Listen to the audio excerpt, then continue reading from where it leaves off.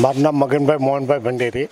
અમે અમદાવાદમાં નિકોલની અંદર સિનિયર સિટીઝન તરીકે એક મંડળ ઊભું કરેલું છે. અમે સાડી સાતસો સભ્ય છીએ. કોઈ ફંડ ફાળો નહીં. અમે આ સત્યાવીસ દિવસથી એક હજાર માણસનું રોજનું રસોઈ બનાવી અને લોકોને ગરીબોને ખબર છે. રોજ નોખો નોખી વસ્તુ. એક દી ખીર હોય, એક દી રવો હોય, એક દી દૂધીનો હલવો હોય, ખમણ હોય, કઢી, ભાત, પૂરી, શાક, રોટલી તર લોકો પાસેથી ઉઘરાવતા એ બંધ કરી દીધું. અત્યારે કાયમ માટે અમે એક ટાઈમ જ બનાવી છીએ રોજ સવારેથી સાંજે સાત વાગે સાત વાગે બધાને ખબર હોય પછી બંધ કરીએ છીએ અને જાજા ભાગે બધા સિનિયર સિટીઝન જ છે. અમારી સાડી સાતસો સભ્ય છે, એકસો ને પંચાસ લેડીઝ છે. આજ સુધી લેડીઝો કામ કરાવ્યું. અત્યારે હવે અમે જાતે પોતે કરીએ છીએ. પુરુષો લોકો. કોઈ મજૂર નહીં, કોઈ જાતે. અને કોઈ ફંડ ફાળો નહીં. જે કાંઈ આશ્રમની આવક છે, એમાંથી અમે ખાવા ખવડાવીએ છીએ. આ લોકડાઉન થાય ત્યાં સુધી ચલાવવાની ગણતરી છે અમારી. લોકડાઉન ચાલુ થયું, ત્યાંથી અત્યાર સુધી ચાલુ છે, વચમાં બે દિવસ બંધ રાખ્યું હતું ખાલી. નહીં, સમાજને સારામાં સારું અમે જેટલું થાય એટલી અમે મહેનત કરી છે. અને સૌરાષ્ટ્ર પટેલ મારફતથી અથવા પટેલ કોમ માટેથી અત્યારે જેટલું ખવડાવમાં જે સમજે છે, એટલું બીજી કોમ નથી સમજતી. અને અમે લોકો ખાલી કોઈ પણ સમાજ હોય, અહીંયા આશ્રમની અમને બધાને અમે ખાવા માટેની છૂટ છે. ખવડાવવા પીવડાવવા માટે અમે બે ટાઈમ ચા, એક ટાઈમ નાસ્તો, સાંજે વઘારેલી ખીચડી ખવડાવી, બાર મહિનામાં બે વખત જાત્રા કરી.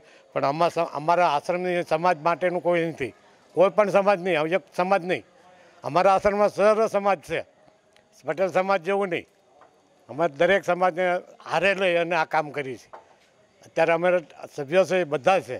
જાજા પાસે પંચાલ છે, ગુજરાતી પટેલ છે, સૌરાષ્ટ્રના છે, પછી લુહાર છે, દરજી છે મહારાષ્ટ્રન છે, મારવાડી છે, બધા સભ્યો અમારા છે અત્યારે.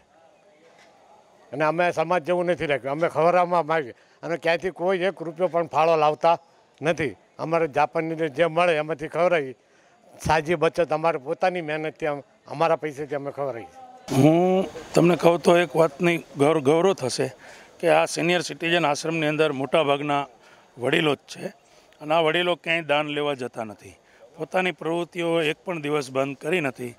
આ મહામારીમાં રોજ બપોરે અને સાંજે હજાર હજાર કે બારસો બારસો લોકોનું જમવાનું બનાવીને રિંગ રોડ ઉપર ગરીબ વસાહતોમાં અલગ અલગ જગ્યાએ નારોલથી નરોડા રોડ સુધીની અલગ અલગ વસાહતોમાં જઈને લોકોને પૂછીને સોશિયલ ડિસ્ટ્રક્શનનું ધ્યાન રાખીને ગરમ ગરમ જમવાનું આ વરડીલો આપી રહ્યા છે. માણસને જ્યારે મુશ્કેલીનો સમય આવે ત્યારે દરેકની કર્તવ્ય ભાવના હોય છે. એમાંથી આપ, આમાંથી અમે પણ હું આ વિસ્તારનો કાઉન્સિલર છું. આ વડીલો પાસેથી એક પ્રેરણા જેવું છે કે ભાઈ સિત્તેર એંસી વર્ષના, પંચોતેર વર્ષના, સિત્તેર વર્ષના વડીલો જો ભેગા થઈને આ પ્રવૃત્તિ કરતા હોય તો દરેક લોકોએ આ સેવા કાર્ય કરીને રાષ્ટ્રધર્મ બજાવવો જોઈએ.